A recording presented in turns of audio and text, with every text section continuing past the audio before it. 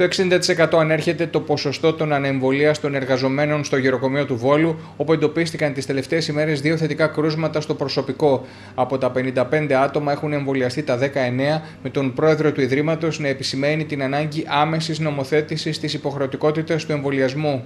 Την προηγούμενη εβδομάδα παρότρινα ξανά για ακόμη μια φορά το προσωπικό να μπει στη διαδικασία να εμβολιαστεί. Δεν τα καταφέραμε. Έχουμε μεγάλο ποσοστό αρνητών. Αυτό θεωρώ ότι είναι μεγάλη ευθύνη της κυβέρνησης, γιατί από την πρώτη στιγμή λέμε πρωτοβάθμια, δευτεροβάθμια νοσηλεία πρέπει να ήταν υποχρεωτική. Έρχονται σε επαφή με ηλικιωμένους, έρχονται επαφή, σε επαφή με άρρωστο κόσμο. Άρα θα έπρεπε να προσέχουμε περισσότερο.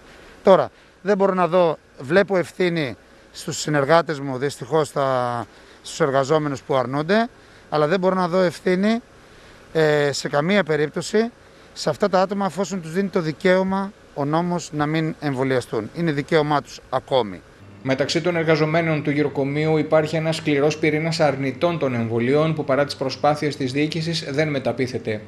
Λένε ότι να δούμε τι θα γίνει από Σεπτέμβριο, ίσως κάνουμε, ίσως δουν κάποιο καλύτερο εμβόλιο.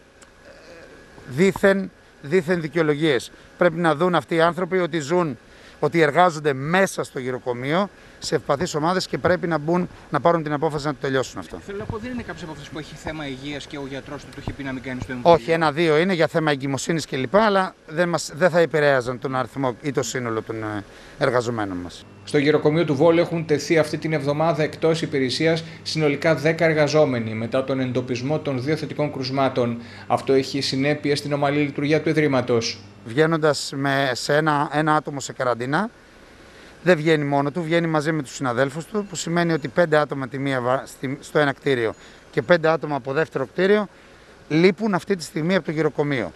Ανακαλούνται άδειες, ανακαλούνται ρεπό, ανακαλούνται όλα πάνε πίσω, όλα πάνε ανάποδα. Παρότρινα σήμερα μίλησα με τους συνεργάτες μου, προϊσταμένες κλπ. Και, και κοινωνική υπηρεσία και παρότρινα ξανά σήμερα να δηλώσουν ποιοι θέλουν μήπως μπορέσει ο ΕΟΔΗ αύριο και εμβολιάσει κάποιους.